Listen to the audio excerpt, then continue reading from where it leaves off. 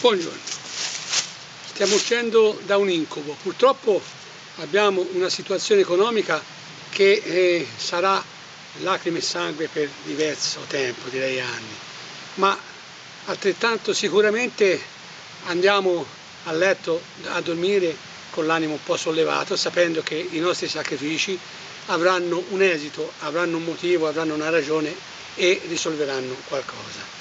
La L'origine di tutta questa storia la conosciamo anche troppo, Ve Victis no, lasciamolo perdere.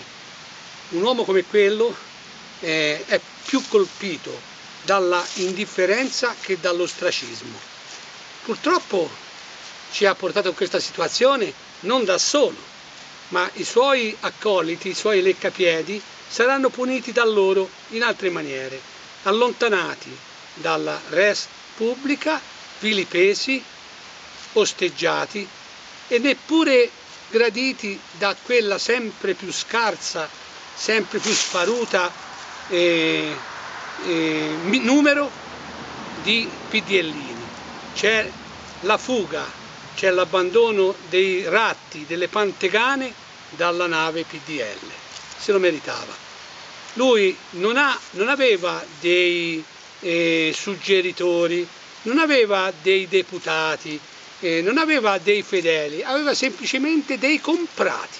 E quando uno compra deve anche sapere che c'è qualcun altro che poi magari offre di più. Ecco il suo concetto del tradimento. Lui le aveva comprate e le riteneva cose sue, cose proprie. Questa gente ha adoperato un attimo il cervello e soltanto adoperando il cervello si, si poteva eh, affrancarsi, allontanarsi da questa schiavitù e da questa servitù. Sono rimasti alcuni, alcuni perché non hanno più alcuna possibilità alternativa. Ditemi voi, ma un capezzone cosa potrà fare? Portavoce di chi? Ed altri. È un cicchetto con i suoi precedenti storici, ex socialista, ex piduista, e Gasparri che si è esposto in maniera vergognosa anche se devo dire negli ultimi tempi ha un pochettino come dire, abbandonato, è apparso sempre meno perché chiaramente aveva capito insieme a tantissimi altri. E poi tutta questa pletora di quote rosa che sono in Parlamento senza merito alcuno, merito alcuno politico, merito forse di altra natura, ma oggi il bunga bunga è stato abolito. E poi, ultimo, ma non meno importante, la figura patetica la figura sconfitta, la figura rassegnata di un uomo che credeva di essere il più potente del mondo, che ha preso in giro gli italiani, irriso i consessi europei e mondiali, si ritrova con un pugno di mosche.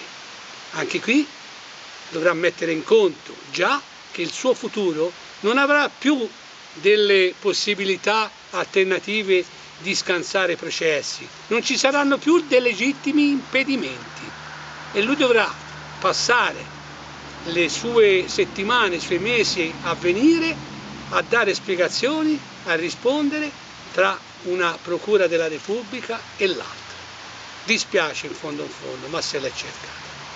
Ai cari amici che hanno in qualche modo sopportato, che hanno creduto che comunque ci fosse uno sfocio, uno sfocio di, di, tal genere nella faccenda, i miei auguri e i miei ringraziamenti.